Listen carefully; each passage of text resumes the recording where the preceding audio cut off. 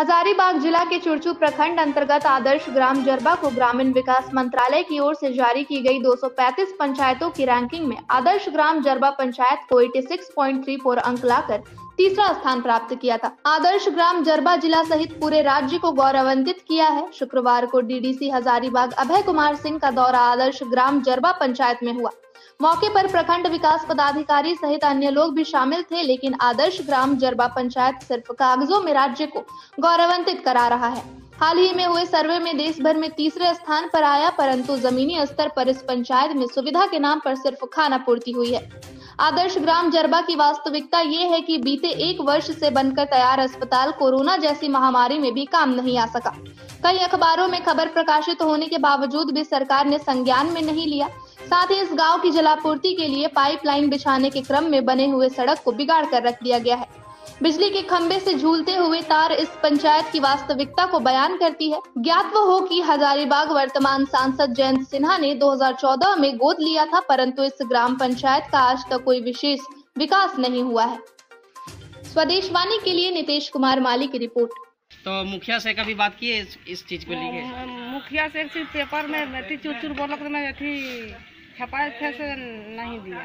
तो कभी उसके बाद क्या बोला मुखिया? किस बात पे बात हुई? पर मिलेगा तो मिलते मिलते मिलेगा। कब मिलेगी? कब तो हमें मोर जाता मिलेगा। तो अभी तक मुखिया से कितने बार आपने पेपर दिया उनको? बार जमा किया है। कितने बार? तो आ, आपका नाम क्या हुआ? सरदा देवी। आ, घर कहाँ है? दसों तो आपने देखा कि मैं अभी चुरचू प्रखंड क्या हुआ? कहाँ के हैं आप? आ, क्या समस्या आपकी?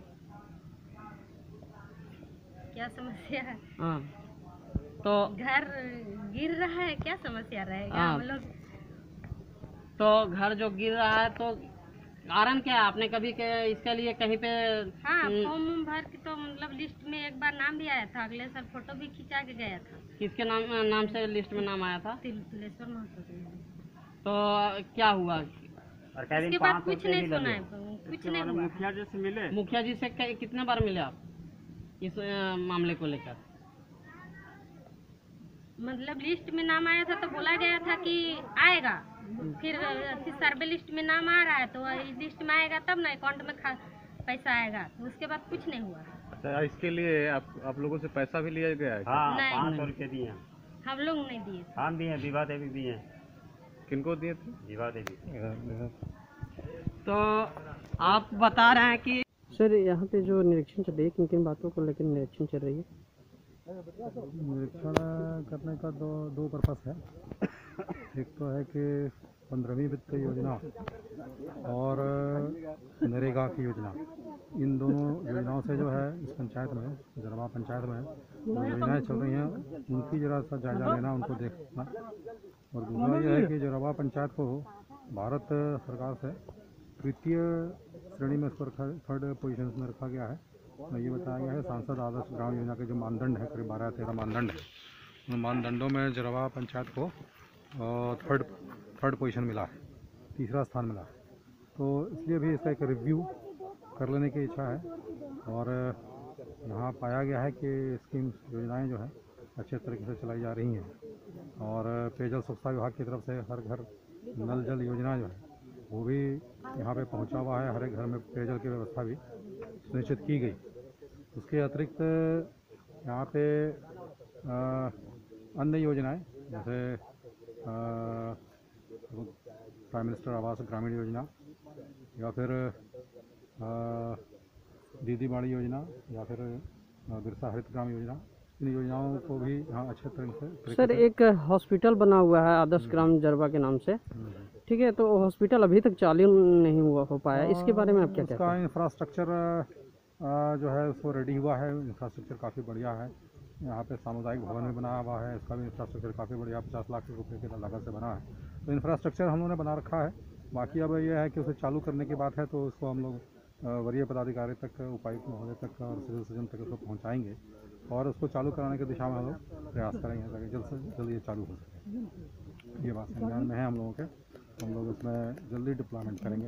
जो मेडिकल मेडिकल ऑफिसर्स या पैरामेडिकल के जो यहाँ पर नियुक्ति होनी है वो हम लोग करवा करके इसको मैंने कहा और स्वास्थ्य व्यवस्था चिकित्सा सुविधा वो बहाल करने का उनकी दिशा में हम लोग पूरा प्रयास करेंगे। धन्यवाद। पेयजल स्वच्छता विभाग द्वारा जल मीनार बनाया गया है। सर जो योजना आदर्श ग्राम बनाया गया था जो सोच के एक आप आते हुए देखे कि नाली की सुविधा जो नाली रोड पे देख रहे हैं तो उसके बारे में क्या कहना चाहते हैं? नाली रोड पे छोटी छोटी बातों पर अभी इतना ज़्यादा ध्यान देना बड़ा बड़ा जो इंफ्रास्ट्रक्चर है उस पर ध्यान देना है पहले। तो बड़ा इंफ्रास्ट्रक्चर में सर देख रहे हैं ये जल मीनार बना हुआ है। और इसे हर एक घर में नल के माध्यम से जल पहुँचाने की व्यवस्था सुनिश्चित कराई जा रही है। ये एक बड़ी योजना है। इसमें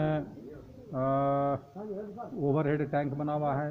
इसमें पानी जो है सो इंटेक वेल के माध्यम से और पंप के माध्यम से पानी लाया जाता है। और उसको ओवरहेड टैंक में चढ़ा करके फिर हर एक घर में ये पहुँचाया जाता है। जगह जगह पर पानी का नल खुला हुआ है सर। इसके बारे में क्या मैं बेकार तो में ये तो? ग्रामीणों को देखना है और वहाँ जो पंचायत की व्यवस्था है वो उनको देखना है। हर एक घर में कोई पदाधिकारी जो आगे बैठकर नहीं देख सकता है नल तो बंद नहीं कर सकता है ना। तो ये तो ग्रामीणों को देखना है इतना सिविक सेंस जो है लोगों में अपने खुद आप से विकसित कर लेना है कि पानी को बर्बाद नहीं करना पानी निश्चित रूप से एक महत्वपूर्ण संसाधन है। आ, सर परिचय आपका? मैं डी डी सी हजारीबाग हूँ। अगर आप इस चैनल पर नए हैं तो हमारे चैनल को लाइक शेयर एंड सब्सक्राइब ज़रूर करें, ताकि आने वाली देश विदेश की खबरें आपको मिलती रहे। स्वदेश वाणी।